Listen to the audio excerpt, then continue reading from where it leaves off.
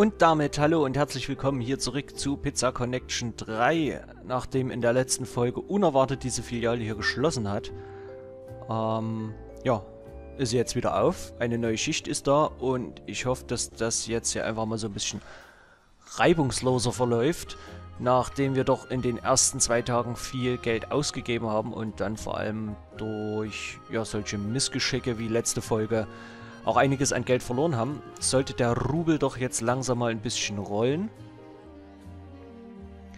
Dass wir uns dann mal auch an dieses Restaurant machen können. Denn da gibt es sicherlich auch noch einiges an Optimierungsbedarf.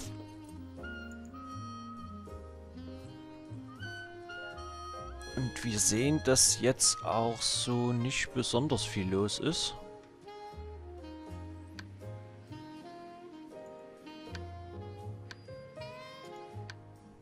Aus welchen Gründen auch immer. Vor allem, da wir jetzt vier Kellner da haben.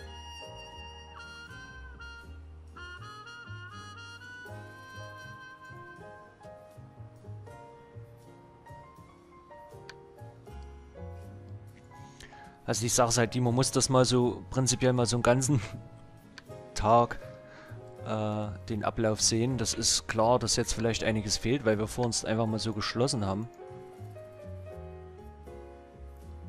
Aber so richtig geil läuft das bis jetzt nicht, muss ich ehrlich gestehen. So, wir haben jetzt 16, 17 Uhr.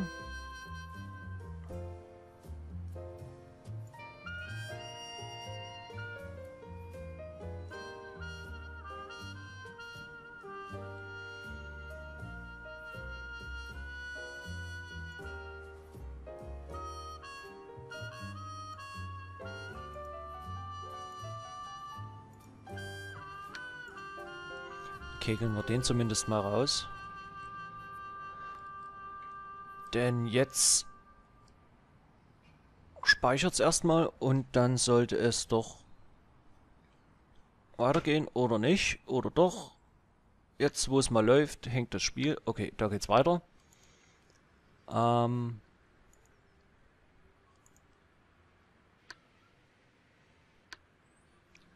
ja, also irgendwie Wann machen wir hier zu? 21. Ja gut, bis dahin ist halt auch wieder leer. Und dann schauen wir uns den nächsten Tag doch mal so komplett an. Ich gehe aber davon aus, dass wir jetzt erstmal ins Minus rutschen.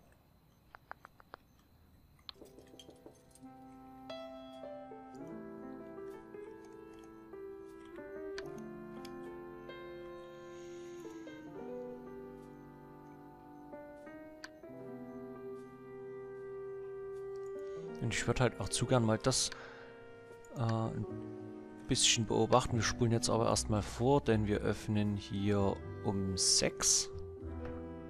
Oh, 1000. Cool. Ja. Den Sachen können wir auch noch nicht allzu viel bemessen. Warum bist du jetzt da? Warum? What the... F Warum ist hier nachts halb drei eine Kellnerin da? Ist er gar nicht eingeteilt. Oder übersehe ich das gerade irgendwo? Also das Spiel macht mich langsam ein bisschen fertig.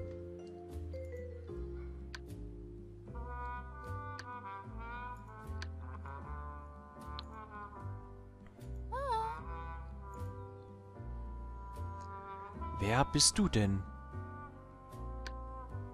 Matilda Jones.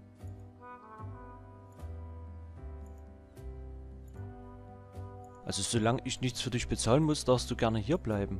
Matilda Jones hier von 15 bis... Von 15 bis 21 bist du eigentlich da. Das verstehe jetzt wer will. Aber meinetwegen.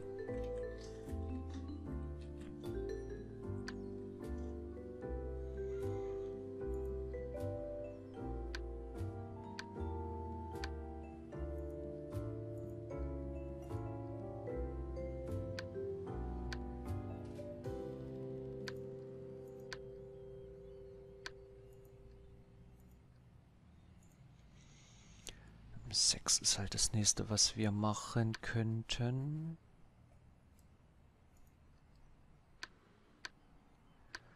Ja, der eine Koch scheint hier, glaube ich, noch ganz gut hinterherzukommen.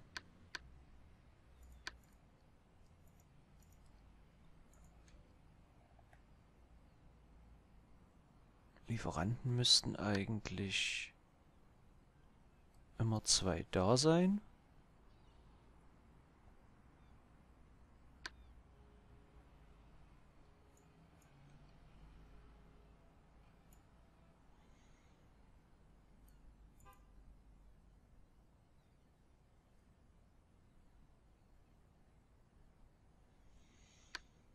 Genau, dann machen wir das vielleicht so. Wo fährt denn der jetzt mit den...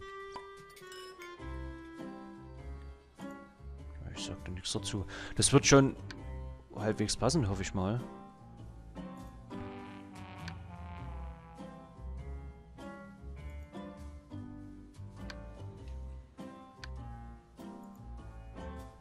So, dann haben wir drei Kellner da. Jetzt gehen hier doch einige, weil sie keine Pizza bekommen.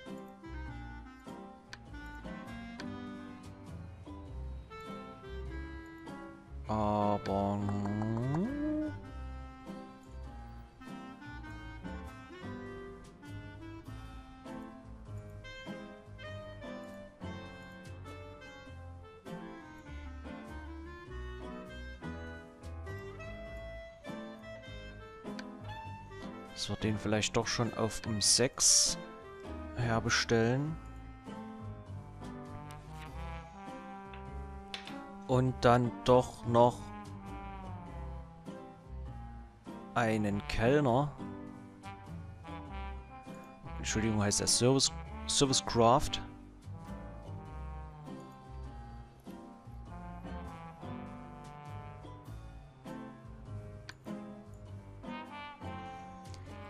Reinnehmen. Denn jetzt ist doch schon so ein bisschen eine Stoßzeit und wir haben keine Dingsbums, keine Zutaten deswegen. Ach, dass man hier nicht mit der Maus scrollen kann, das ist ja furchtbar.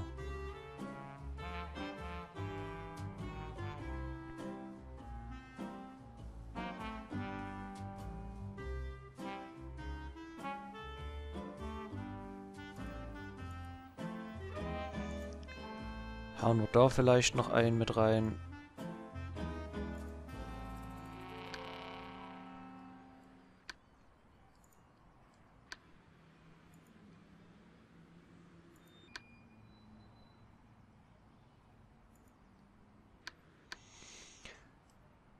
So, okay, dann haben wir jetzt so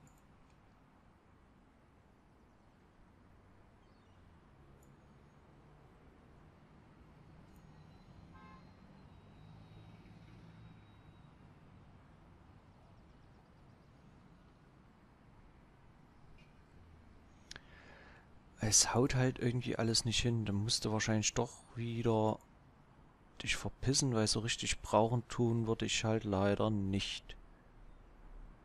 Es sei denn, hm, ich hätte ihn halt mal einfach eher mit reinziehen können.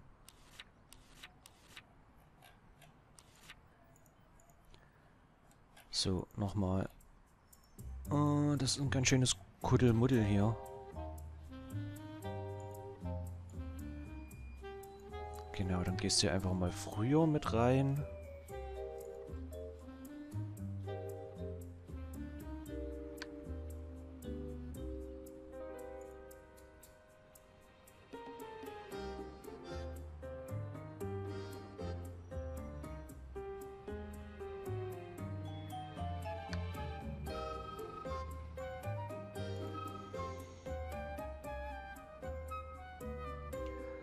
So, genau. Jetzt haben wir hier einen Koch ab 12. Gucken wir mal, ob wir da ein paar Servicekräfte streichen könnten.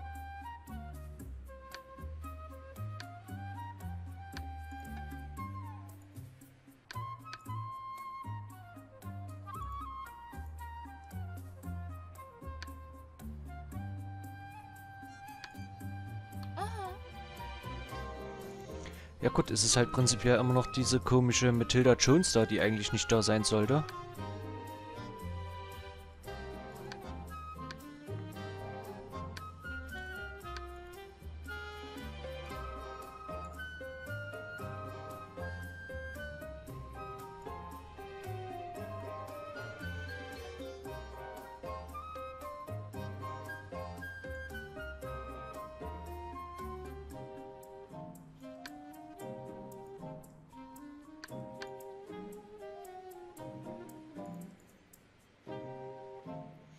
Zeiteinheiten ist halt das, was so ein bisschen nervig ist. Ich meine, ja, die stehen halt jetzt eine Stunde doof rum, ohne dass man sie eigentlich braucht, aber ich kann sie halt nicht so einteilen, dass sie eine Stunde später kommen. Man kann das halt immer bloß so in, ja, in drei Stunden Takten machen.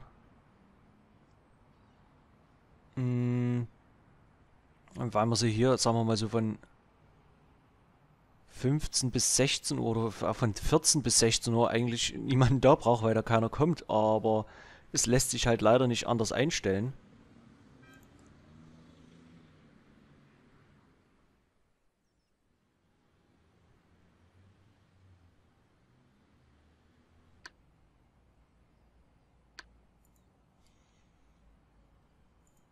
Und ich würde auch fast sagen, dass wir hinten raus mit einem Koch dann eventuell ganz gut arbeiten können. Ich probiere das jetzt einfach mal, weil ein bisschen Geld muss man vielleicht doch noch einsparen. So, und dann... Ja, lassen wir das Ding vielleicht einfach so laufen. Und ich bin aber am überlegen, ob wir eventuell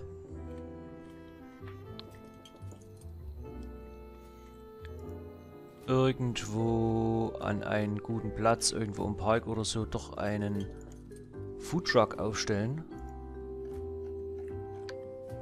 Und dann können wir uns am nächsten Tag jetzt mal mit dieser Filiale beschäftigen.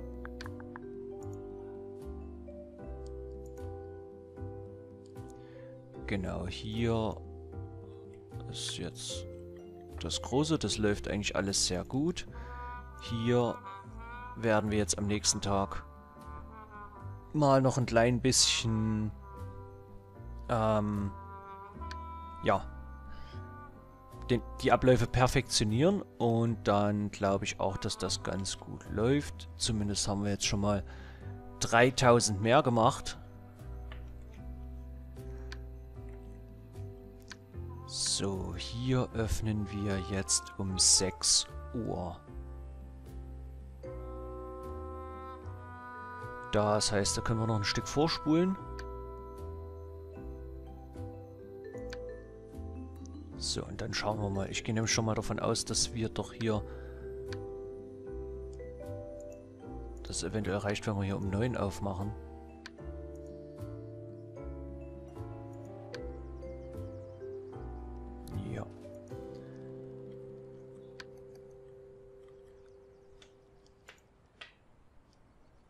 Das würde auf jeden Fall schon mal funktionieren. Dass wir alles eine Stunde verschieben.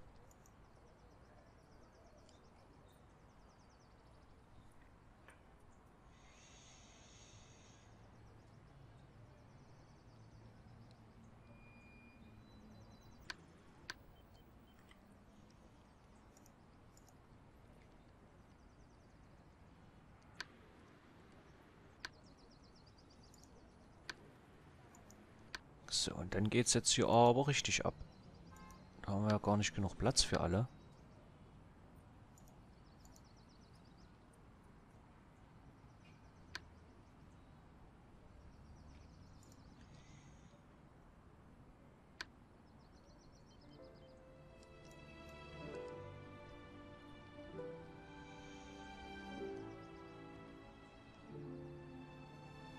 Können wir vielleicht sogar noch einen Kellner anstellen.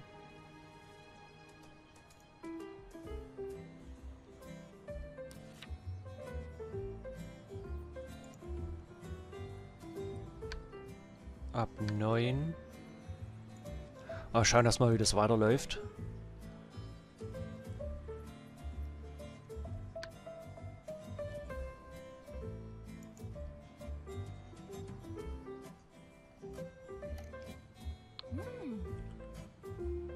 Was ist denn jetzt der Koch? Warum kommt denn der jetzt zu spät?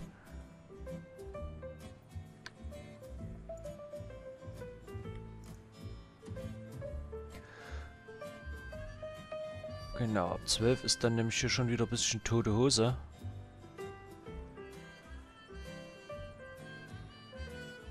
Wobei, da geht es auch ganz gut ab.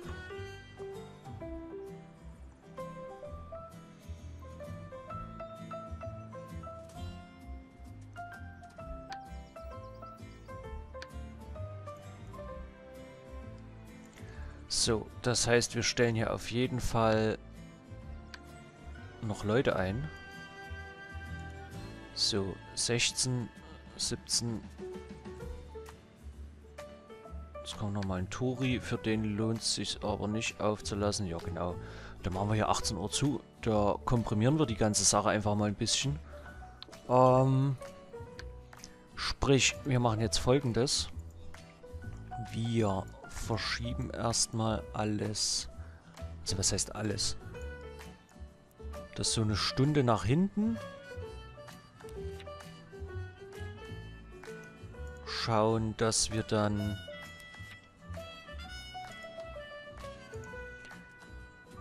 Erstens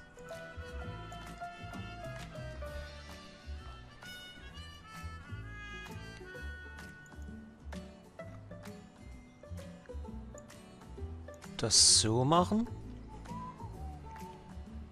Eventuell, gut, 5 ist schon ganz schön viel. Dann stellen wir...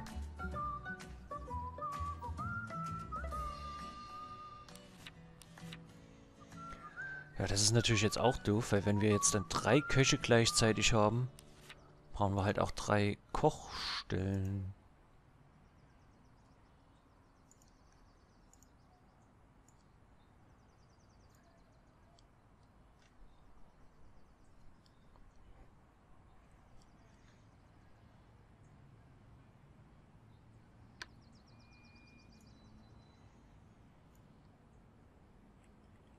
Ach, es ist halt so, man muss halt sagen, es kommt halt sonst eigentlich niemand. Nur halt mal kurz in dieser äh, Stoßzeit. Das heißt, ähm, zwei Polizisten, guten Tag. Ähm, ja, es hilft halt nichts.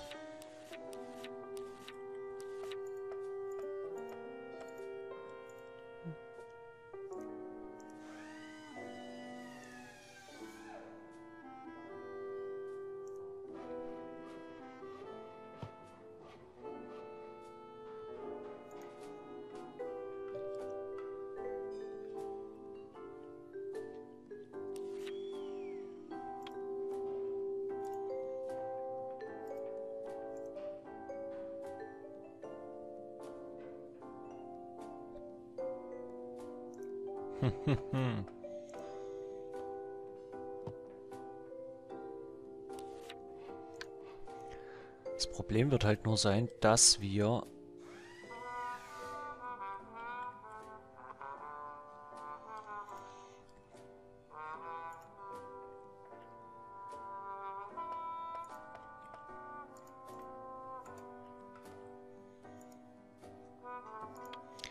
Nein, abbrechen.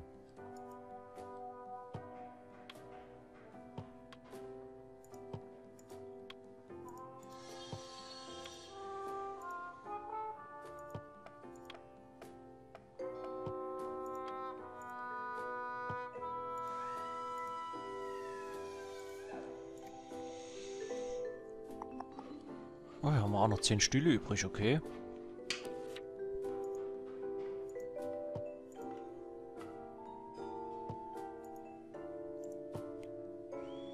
Dann würde ich sagen,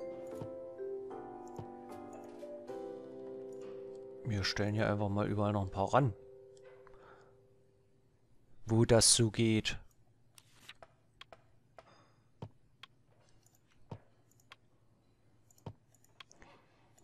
Das, das, das. Das. Das sieht nicht besonders schön aus, aber ich glaube, das macht dem Spiel eigentlich relativ wenig.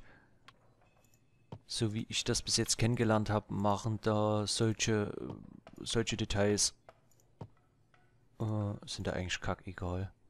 Also genauso bei den Pizzen, das ist kackegal, wie man da die Zutaten anordnet. Hauptsache, ja, man klatscht es irgendwie auf die Pizza drauf. So, dann ja, haben wir jetzt hier ein paar Plätze mehr. 26. Ähm, eine Sache mache ich noch. Ich habe mich dazu entschieden, das jetzt doch hier noch bis 21 Uhr offen zu lassen, weil... Ja. Das ist mit den Überschneidungen, da müssten wir so viel... Da müsste ich nochmal das ganze Restaurant umbauen. So, jetzt kommt die zwar nochmal, das ist gut von ihr, aber bringt jetzt nicht besonders viel. So, dann würde ich sagen, ob die Sache jetzt so funktioniert, schauen wir uns dann einfach in der nächsten Folge an. Und hoffentlich machen wir auch noch ein bisschen Kolle. Würde mich sehr freuen. Würde mich auch sehr freuen, wenn ihr wieder mit dabei seid. Habt erstmal vielen Dank bis hierher und bis zum nächsten Mal. Ciao.